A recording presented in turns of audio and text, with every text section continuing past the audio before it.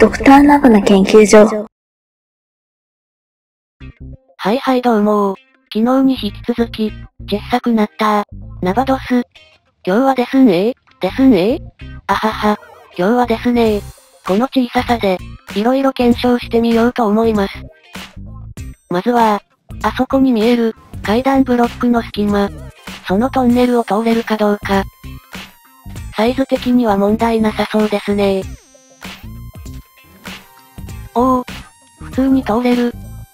うん。昨日の動画でも普通に通れてましたもんなこれは問題なさそうですね。小さいって便利ですなよし。この調子でどんどん行きましょう。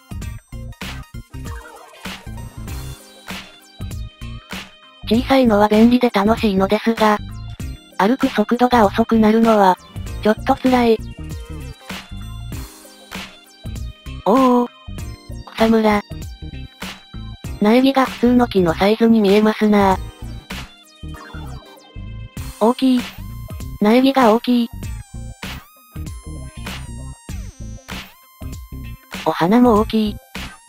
いつもより綺麗に見えますな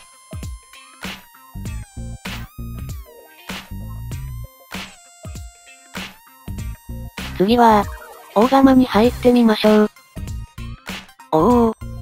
普通に入れた。めちゃくちゃ広いですないい。楽しい。でも、水が見えない。そこは謎ですな。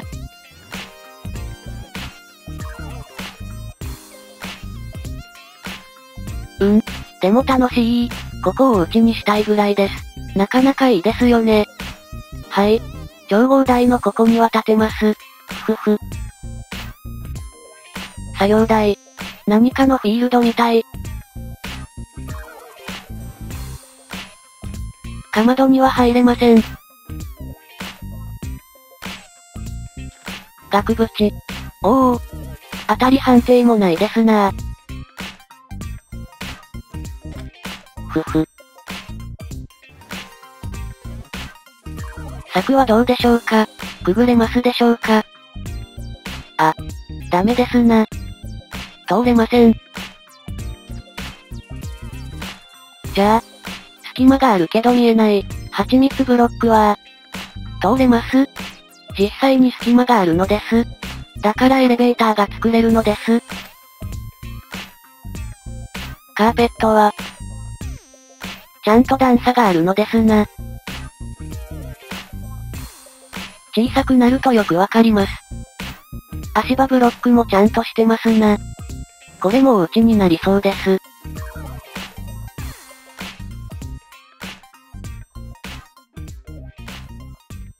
うん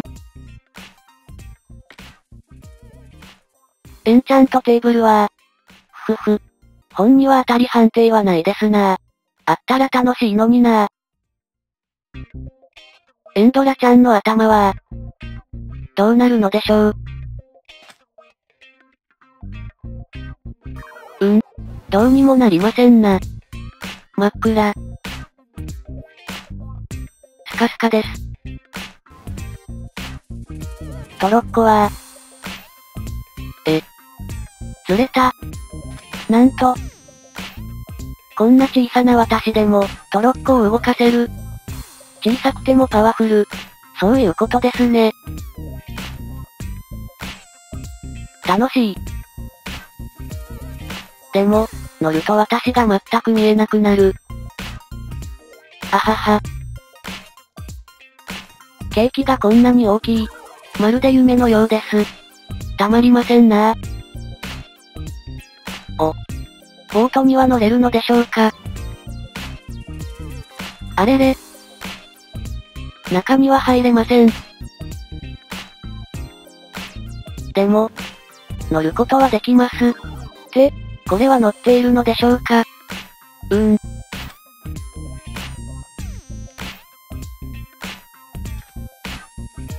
石を研ぐやつ。下をくぐれます。焚き火は、焚き火の木に乗ってみましょう。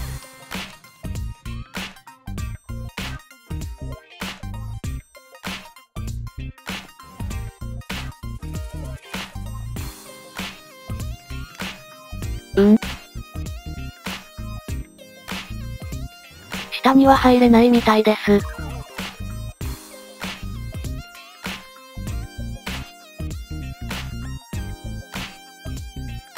鉢植えは、お。ああ、浮いてますなちゃんと中に入れたら面白いのになクモの巣は、ちゃんと引っかかりますな。ガラスの中のお水はどうでしょう？そこからの景色。おお。なんかすごい。これもなんかすごい。ボタンだ。ボタンが大きいテーブルみたいですね。お、ここにも入れる。いいじゃないですか。雪はどうなるのでしょう。ああ、ちゃんと埋まりますな。ほら面白いですぞ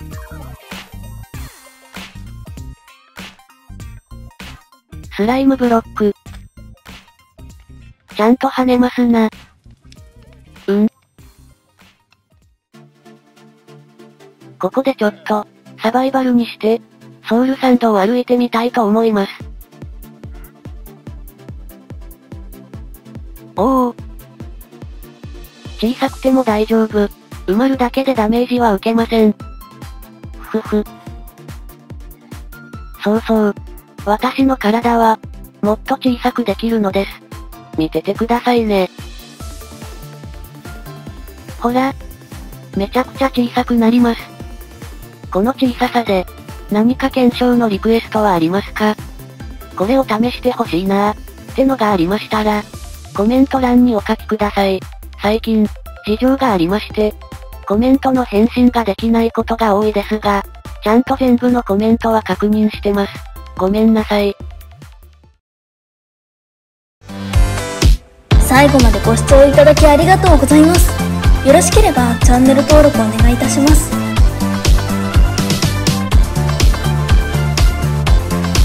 Twitter のフォローもしていただけると嬉しいです。また次の動画でお会いいたしましょうね。